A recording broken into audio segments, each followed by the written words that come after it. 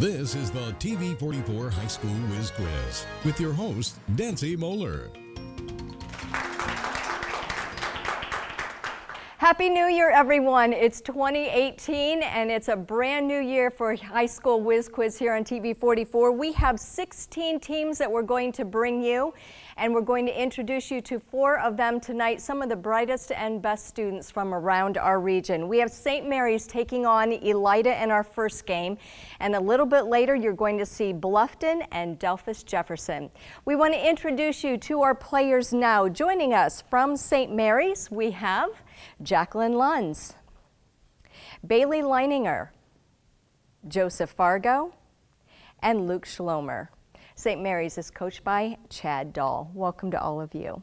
All right, turning now to Elida. Joining us is Ethan Bowersock, Josh Guess, Alex Treese, and Logan Oriens. Elida is coached by Shelby Klutz. Welcome to all of you gentlemen. All right, here's our first round. We have 10 questions. They're all worth 10 points apiece. Let's get those buzzers ready. Let's have a good time, everybody, and make sure that you speak up as loudly as possible, and if you could, make your answers as complete as possible as well. All right, here we go. Question number one for the new year. Which city is considered to be the home of country music? Yes, Elida. Nashville, Tennessee. Nashville, Tennessee is correct. What does the P in CPR stand for?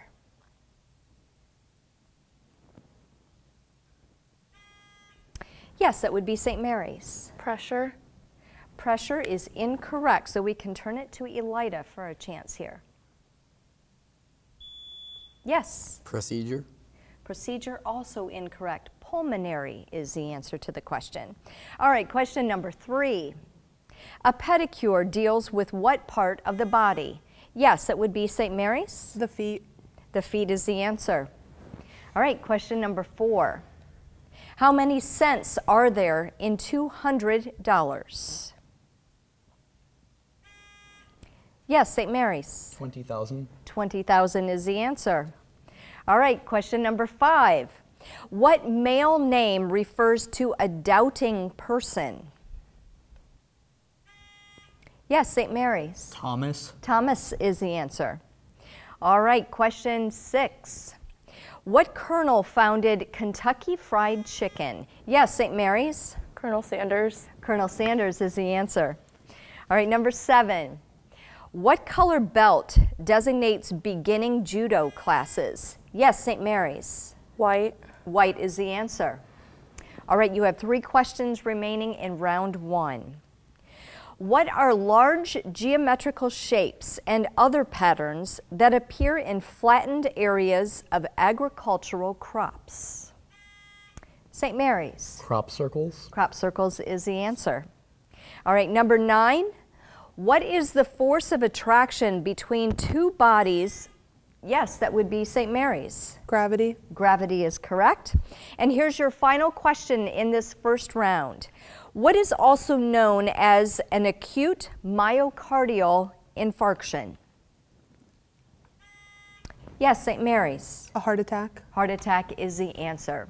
All right, we've come to the end of round one, and here is our score now between St. Mary's and Elida. Elida, you have 10 points. St. Mary's with 80. We'll be back with rounds two and three right after the break. Don't go away.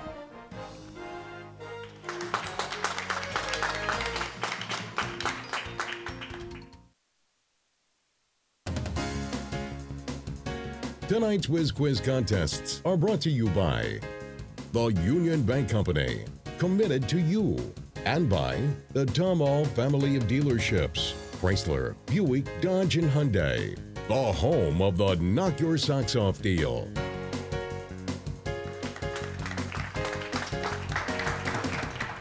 All right, welcome back, everyone. We're moving into round two of our game between St. Mary's and Elida. Here's our score. St. Mary's with 80 points, Elida with 10. That means St. Mary's, you're leading this next round with five questions worth five points apiece. They are all yours, but please buzz in with your answers, okay? All right, question one. What Ivy League college is in Providence, Rhode Island?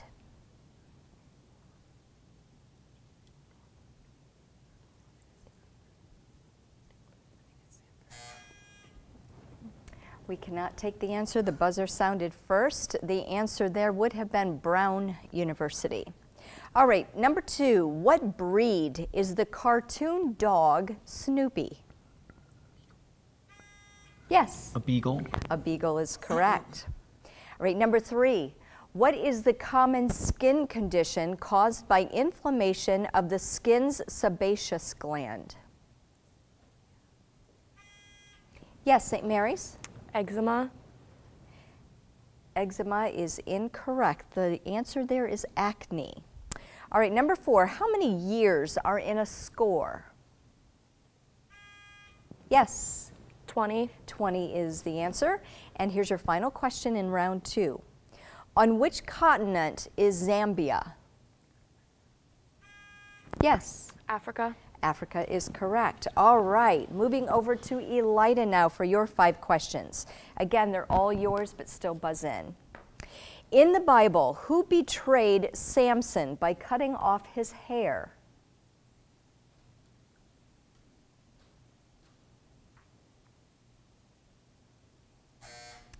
The answer is Delilah. All right, question two.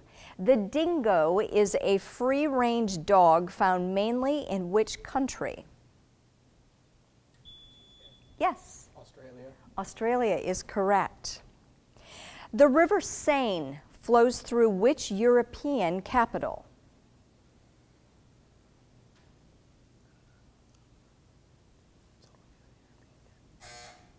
The answer is Paris, France. All right, you have two questions remaining in this round. The law of gravity was inspired by what falling fruit? Yes. An apple. Apple is the answer. And here's your final question in this round. Is the book of Numbers in the Old or New Testament?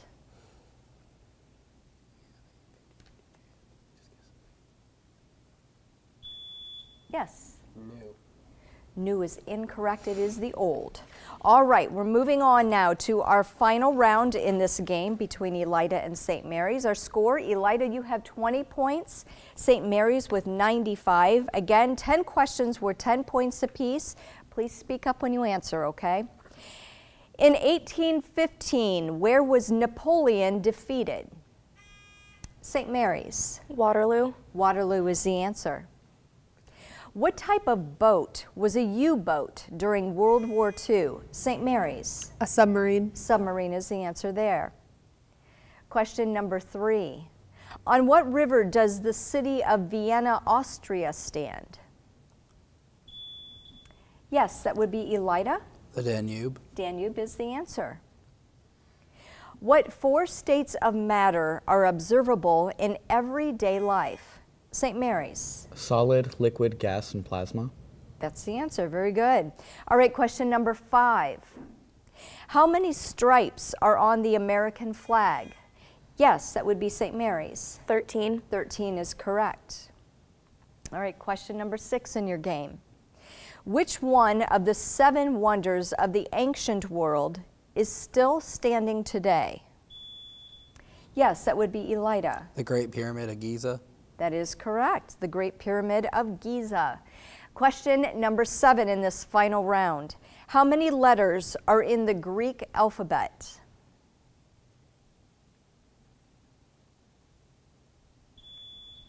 Elida. 21. 21 is incorrect. We can, yes, St. Mary's? 23. 23 also incorrect. 24 is the answer. All right, we are down to our final three questions. How many people are in Da Vinci's painting, The Last Supper? Yes, St. Mary's. 13. 13 is correct. What was the name of the U.S. research and development project to create nuclear weapons in, yes, that would be St. Mary's. The Manhattan Project. Manhattan Project is the answer. And here is your final question in this game. What document does the Statue of Liberty hold in her left hand? Elida. The Declaration of Independence. You are correct. The Declaration of Independence. All right, we've completed our game between St. Mary's and Elida. Here is the final score. Elida, you had 50 points. St. Mary's, 155. So you'll be moving on in competition. Elida, we want to thank you for joining us, and St. Mary's will be seeing you in the weeks to come. All right, we'll be back with our next game right after this. Don't go away.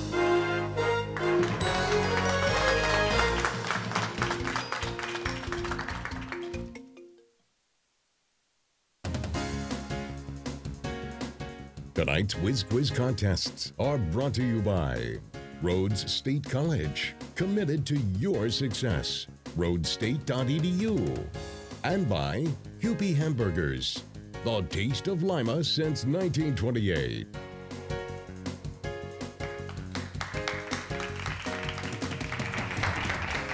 Welcome back, everyone. You're watching the first show of the 2018 winter season of High School Whiz Quiz. We just saw St. Mary's take on Elida. St. Mary's came up the winner there. Now we're going to see Delphos Jefferson face off against Bluffton, and we want to introduce you to our players.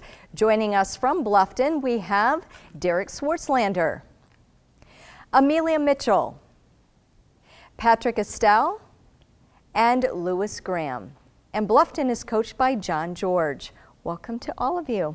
All right, turning now to Delphos Jefferson. Playing for them is Aaron Stant, Lexi Carpenter, Sarah Zoller, and Megan Ream.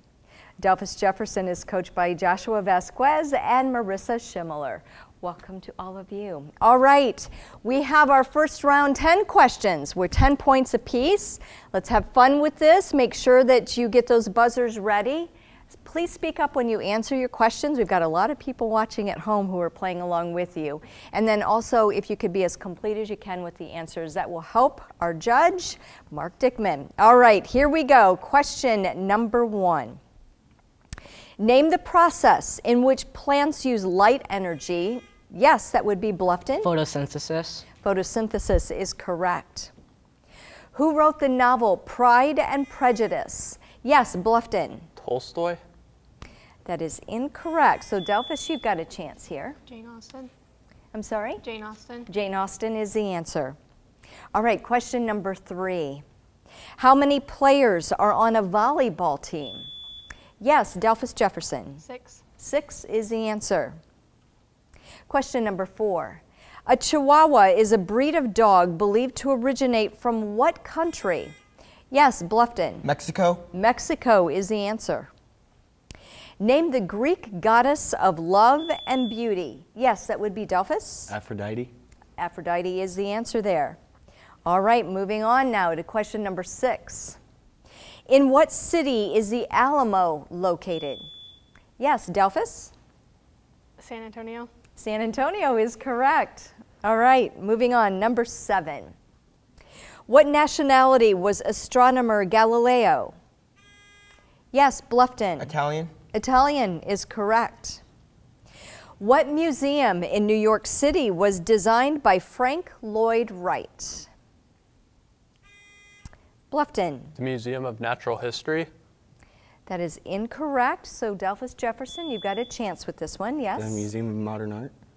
That is also incorrect. The Guggenheim is the answer there.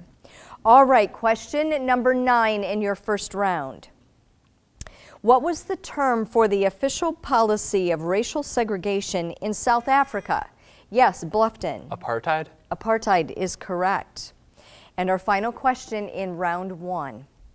One kilogram is equal to how many pounds?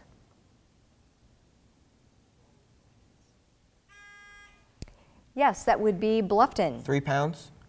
Three pounds is incorrect, so Delphos Jefferson. you got- 3.3 pounds. That is also incorrect. 2.2 pounds is the answer we're looking for. All right, we have a tie going into our second round, and because of a coin toss, Delphos Jefferson, you will be leading this round. You have five questions worth five points apiece. They are all yours, but please buzz in with your answer, okay? All right, number one. If an animal is an invertebrate, which normal body part does it not have? Yes. Spine. That is correct, a spine. Question number two. Name the British nurse who founded modern nursing. Yes, Delphos? Clara Barton. Clara Barton is incorrect. It's Florence Nightingale. All right, number three. Who was the mayor of New York City during the September 11th attacks? Yes. Giuliani. Could you be complete with your answer? Randy Giuliani? That is incorrect. The answer that we're looking for is Rudy Giuliani. All right, number four. Name the four continental U.S. time zones. Yes. Eastern, Central, Mountain, Pacific. Very good. All right. Here's your final question in this round. Which part of Adam's body did God use to make Eve? Yes, Delphos Jefferson. The rib. Rib is the answer. All right, moving over to Bluffton now for your five questions. Again, please buzz in with your answers, but they are all yours. The United England's withdrawal from the European Union is commonly known as what? Yes. Brexit. Brexit is correct. Name the first American woman to win an Olympic gold for the individual all around in gymnastics.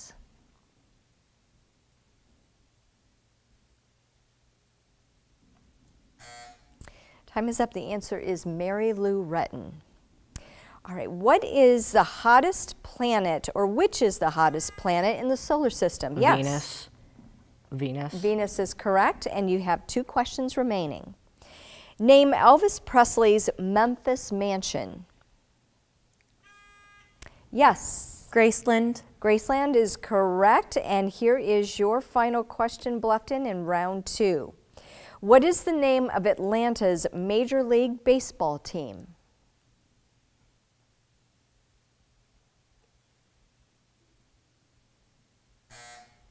Time is up. The answer is the Atlanta Braves. All right, we've come to the end of rounds one and two. Here's our score, and it is still tied. Bluffton and Delphos Jefferson both with 55 points. It's an exciting game. We'll see you back here for round three right after the break. Don't go away.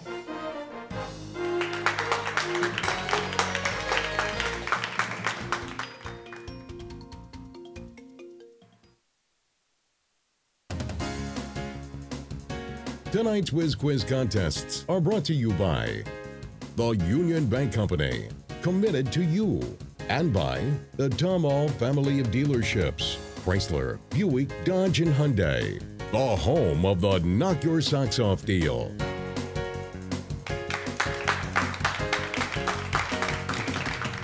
Well, what a way to start the new season. We have a score, a tied score going into our third round between Delphos Jefferson and Bluffton, both with 55 points. We have our final round. Again, 10 questions were 10 points apiece. Everybody ready? All right, question one. Which musical includes the song Climb Every Mountain? Yes, that would be Delphos Jefferson. The Sound of Music. Sound of Music is correct. What city was the first one to be mentioned on the moon? Yes, Bluffton. Houston. Houston is correct. All right, question number three. Oliver Twist was written by whom? Yes, Bluffton. Charles Dickens. Charles Dickens is correct. Which Christopher Columbus ship ran aground on his first voyage? Bluffton. The Pinta? That is incorrect. Delphos, you've got a chance. The Nina. Also incorrect. The Santa Maria is what we're looking for. All right. Question five. A deer under one year old is called what? Yes, Bluffton. A fawn. Fawn is the answer. Jimi Hendrix was a legendary player of which, yes, Bluffton? The guitar. Guitar is correct. Are you a fan? Okay. All right, four questions remaining in this round. Where is the Baseball Hall of Fame located? Yes, Delphos? Cleveland. Cleveland is incorrect. Bluffton, you have a chance with this one. Yes. New York. Be more specific with your answer, please. New York City, New York.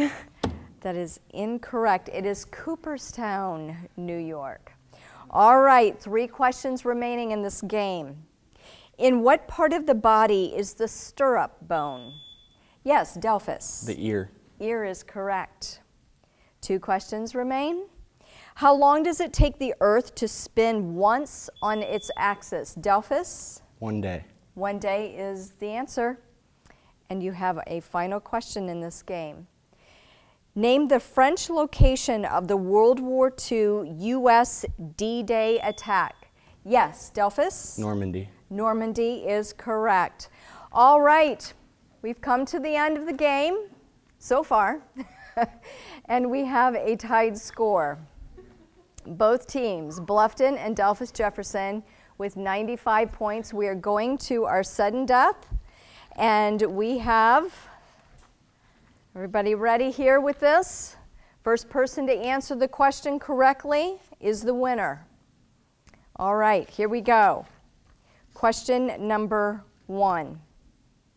What is the largest mammal in the world? Delphos? The blue whale. The blue whale is the answer. All right, let's all exhale. We do have a winner now, and it was an excellent game between Bluffton and Delphos Jefferson. Here's our final score. Bluffton, 95 points. Delphos Jefferson, 105. So congratulations, you'll be moving on in competition. Bluffton, again, always great players. We want to thank you for joining us this season, and we want to thank you for joining us as well. See you back here next week. Bye-bye.